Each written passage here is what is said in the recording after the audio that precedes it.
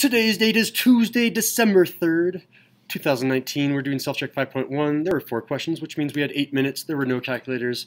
Um, we had this definite integral between 0 and 4 of x minus 3 to take the antiderivative. I take the antiderivative of each of these pieces individually. So this is really, if I'm doing this very formally, I would say this is the definite integral between 0 and 4 of x, d of x. And then I'm going to subtract the definite integral from 0 to 4 of 3 dx. So taking the antiderivative of x, that turns into, and I'm going to come down here because I ran out of room, that's going to turn into x squared divided by 2. So x goes up power from 1 to 2, and then I divide down by that. And that's going to be evaluation bar between 0 and 4, but again, I can kind of combine those back into each other. Antiderivative of 3 is 3x, so minus 3x, and I can do evaluation bar on this whole thing from 0 to 4 and that's now going to be 4 squared over 2 minus 3 times 4. So that's what happens when I plug in 4, and then I'm going to subtract what happens when I plug in 0, which is 0 squared divided by 2 minus 3 times 3 times 0. And I have to actually do some math here. So 4 times 4 is 16, divided by 2 is 8, so it's going to be 8 minus 12 in that first set of parentheses minus 0. All this stuff is 0. And then 8 minus 12 is negative 4, so our final answer is C.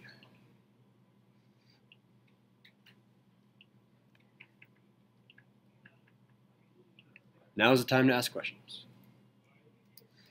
Thumbs up, thumbs down, get it, not get it? Yeah, right around. Oh, nice, cool. Uh, let's go on to number two. Um, antiderivative of this one, I have to first change its form, so this is a antiderivative of x to the negative 2 dx. And then after I do that, now I can take the antiderivative. This is going to go up a power, so from negative 2 to negative 1, and then I divide down by negative 1, which is the same thing as just putting the negative out front. Um, and this one, remember, if I don't have any definite integrals, I do need a plus c here. All right, so now that I've done that, I need to, I, uh, that's just the answer, isn't it? Do they have that? There it is, D.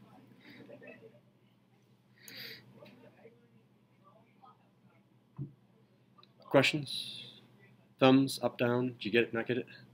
All right, what was the mistake? I did natural log. Uh, you saw one, yeah, so the antiderivative of 1 over x is always going to be natural log of absolute value of x plus c, yeah. But if it's x squared, change the form and then make it. Yeah, again, you should, whenever you see negative 1, if you take the antiderivative of that, that's when you get natural log. Never with other numbers, negative 2, negative 3, etc., etc. Yeah, that's a good mistake to make. Now, hopefully we won't make that mistake again, right? Cool. Let's move on to number 3. All right. It looks like product rule, right? Because I have an x and an x but there's no inverse product rule yet until we hit BC calculus, and then it's called integration by parts.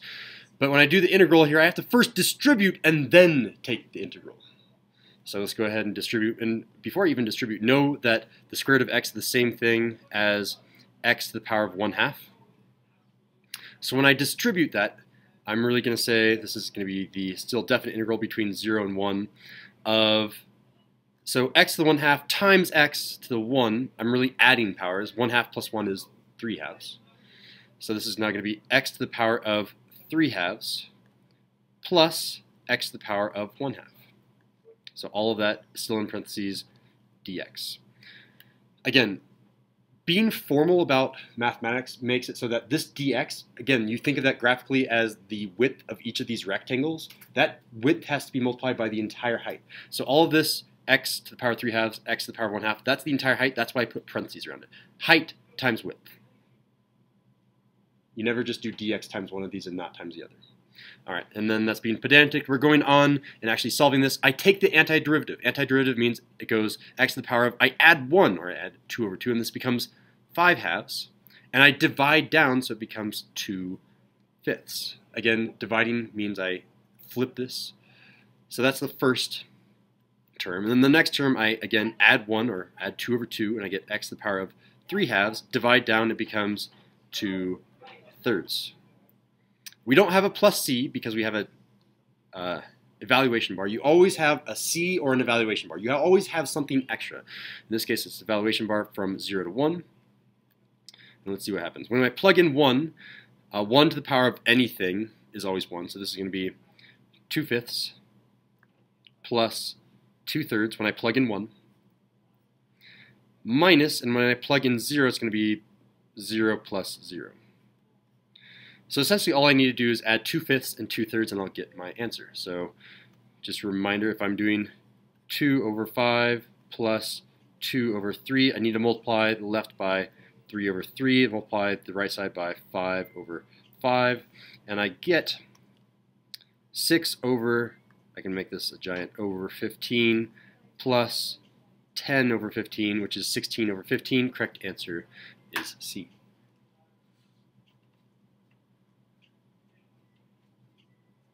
All right. Thumbs up, down. Questions? Errors. What were the errors? I guess. Guess on it. Everything. Did you? You got it. Lucky guess. Yeah, I got it. Okay. Um, did everyone? Oh, I guess the first step of distributing was the mistake that probably everyone made. Yeah. Okay. Yeah. So if you ever have things that are being multiplied together and you're trying to go backwards, you need to multiply them together first and then go backwards. That's the lesson to take away from this one. All right. And then we're on to number four. So this one, it looks like it's going to be pretty difficult. That one was weird. Um, this one is going to be a taxman type of problem. Um, why do I need to use taxman?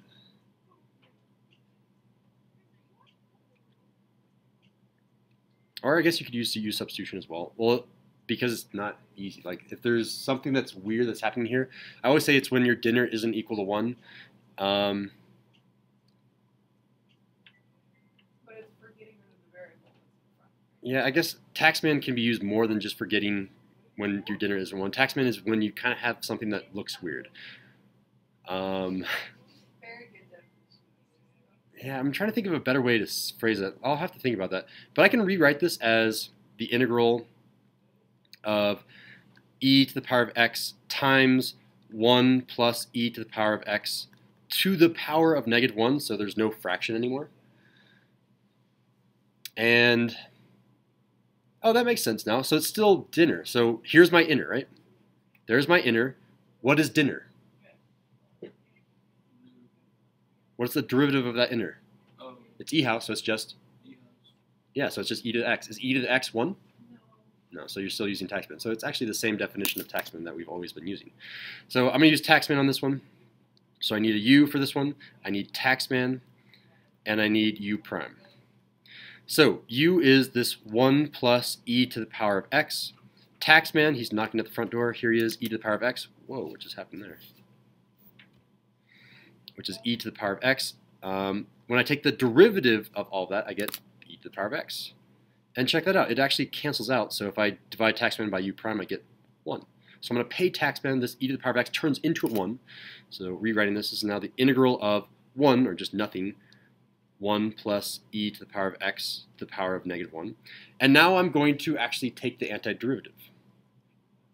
So my outermost house is this negative 1. Ooh, whenever I see a negative 1, that means the going backwards, the antiderivative is what? Zero. Yeah, zero, and then you divide by zero. You can't divide by zero, which means you're, we're using that special rule. I can't divide by zero, so I take the, she said it, natural log, yeah. So this is going to be natural log. Let's write it out. This is now equal to natural log of absolute value. Oh, I guess they didn't really have it there because you don't have a domain error.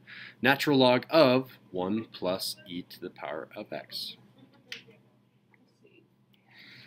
And yeah, don't forget your plus c in this case. You always either have an evaluation bar or plus c. In this case, you have a plus c because it's not a definite integral. And where is our answer? Natural log of, there it is, b.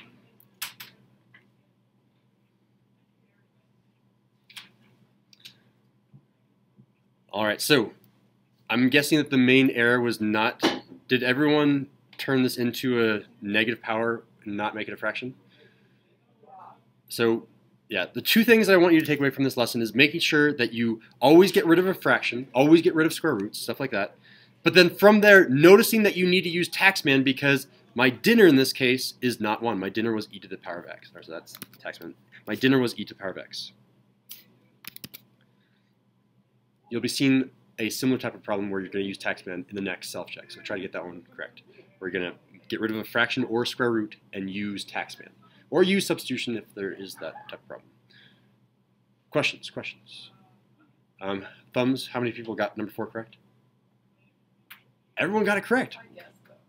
So, Guessed? How did you guys guessed? I kind of like, I, I saw it first and I took like everything out. Like I, I know I wasn't getting E, so I know I'm gonna have natural log. Nice. You guys are really good guessers, and that is a skill that is highly prized on the AP Calculus test. The full first half of the entire test is all multiple choice. If you're a good multiple cho- multiple choice test taker, yeah, you're gonna be doing good. Um, at the very top, I know there's not a room because you have the old version, but how many out of four did you get correct? Out of four, fingers, two, two, four. Arrow. on two of them. You did guess on two of them. You got lucky on two of them. Nice. Yeah. So two, two, and four. Nice. Um, let's go on to self check 5.2. All right, we are on to self check 5.2. Again, it was eight questions, or sorry, four questions, eight minutes. Um, antiderivative of x. It was x to the power of one. It goes x to the power of two. I add one and then I uh, divide down.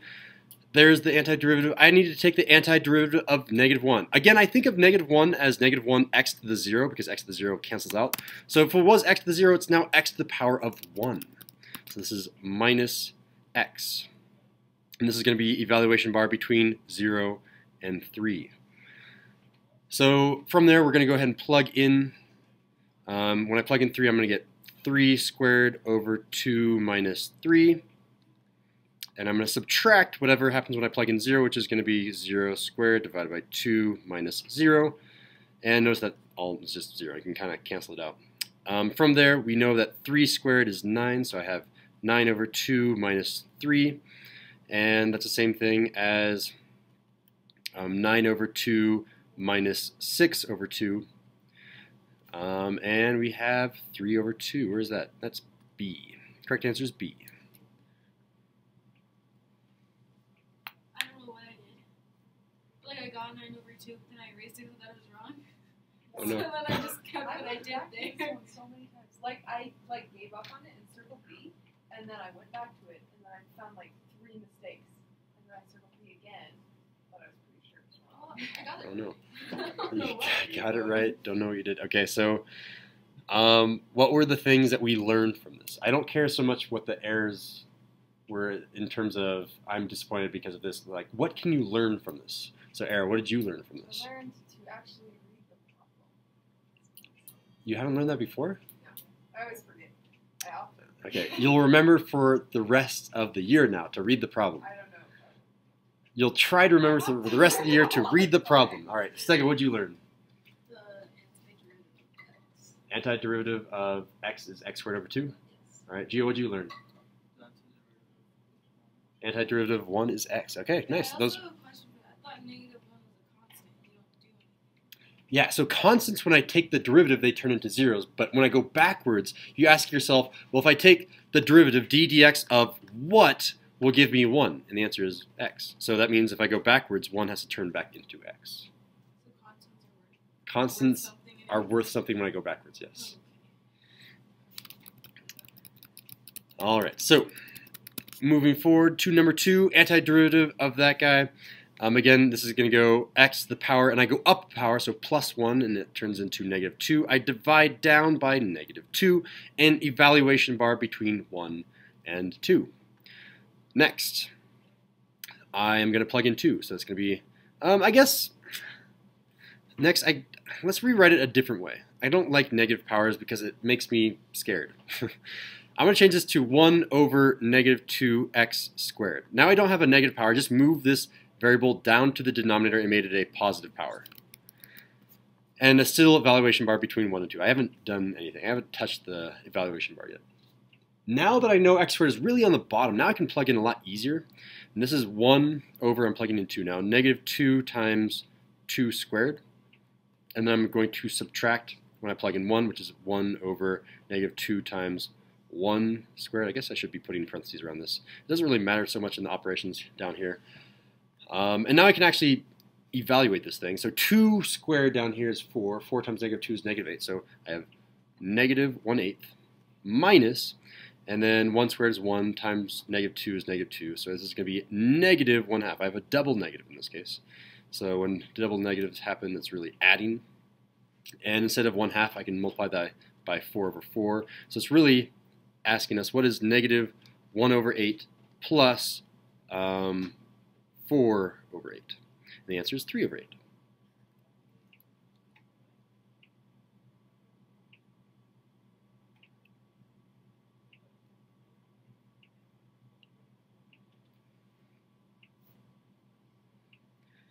All right, I guess I should really be asking, I don't know, I haven't thought the, about this until three years of teaching. Not about whether you got it correct. Do you know how to do this problem with a thumbs up or thumbs down? I took the antiderivative. I did take the bracket, so I didn't put the negative x on the top. Oh yeah, this this green step. Is that what messed you up? I think so. Okay. Um, so that's what you learned. Like, make sure you don't have negative powers when you're actually evaluating it. Um, Arrow, talk to me. I actually did this one. I think. All correct, 100%. I think. All right, nice, yeah, perfect. So you know what you're doing.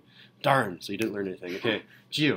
Uh, I learned how to do the problem. Be a little bit more specific. So, do you know how to take the antiderivative? Okay, so you knew that.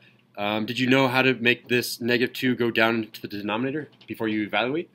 Possibly, but Okay. just didn't get them. Okay, so yeah, uh, just ran out of time.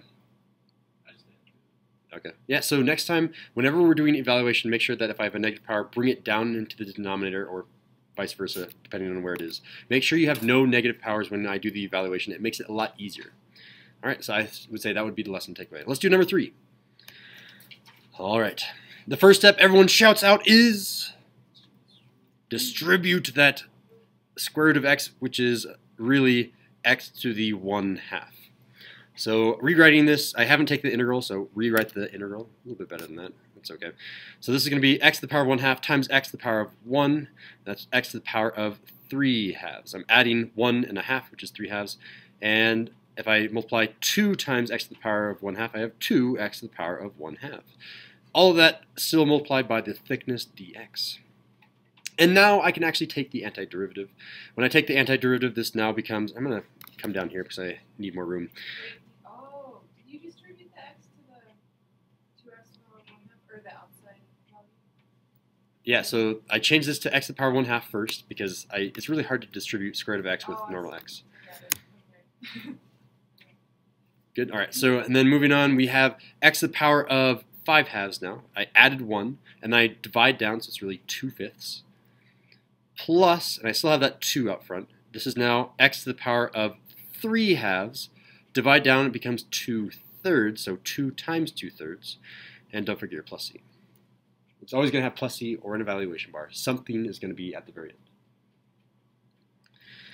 All right, now I can do something else. I can simplify, I guess. This just turns into a 4 right here. And we have our answer. Oh, I guess they're trying to factor some things out in some of these cases. Let's see if we can find our answer. 2 fifths. Oh, it looks like it's D, yeah. We don't even have to do anything. Um, sometimes you do have to factor out an X. All right. Do you know how to do this problem in its entirety? So you're giving me a thumbs up if you didn't learn anything. Maybe I should change this strategy. I'll think about it. Um, just talk to me individually. Arrow. For some reason, I thought that x to the one half times x was x, but I still got it right. Weird.